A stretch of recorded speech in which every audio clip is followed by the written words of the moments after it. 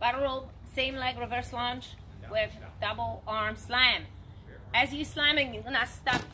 So as you step back, you're gonna slam that battle rope. Step back, slam the battle rope. It's the same leg, both arms.